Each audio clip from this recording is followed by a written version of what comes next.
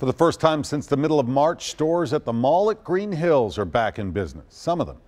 News Channel 5's Chris Davis shows us the adjustments they're making to be able to open their doors.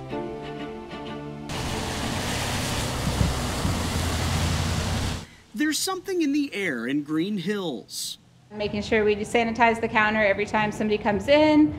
And it's not just Lysol, although there's plenty of that. For sisters Erica and Noel, it's an airing of grievances. If we want to survive, we have to open up our doors again. We can't just stay closed. But in order to reopen, change is in the air. Changing rooms at Holly Ray Boutique have now been relocated to your house. To make up for it, you have more time to change your mind. To let people have that extra time to, yeah, have the option.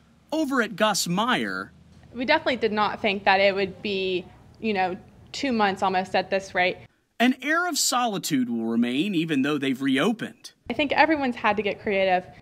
Through the end of this week, they're open by appointment only, only a handful at a time. You get really the whole Gus Mayer experience to yourself. If your decision to return is still up in the air, the general manager for the mall at Green Hills says they're ready when you are. We just really want to welcome our customers back um, as they uh, feel comfortable coming back.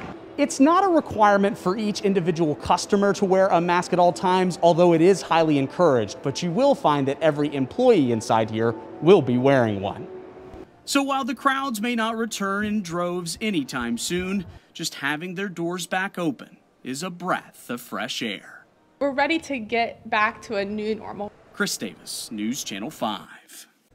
Thank you, Chris. By the way, if you don't feel safe shopping in person, several stores also have online shopping options along with curbside pickup.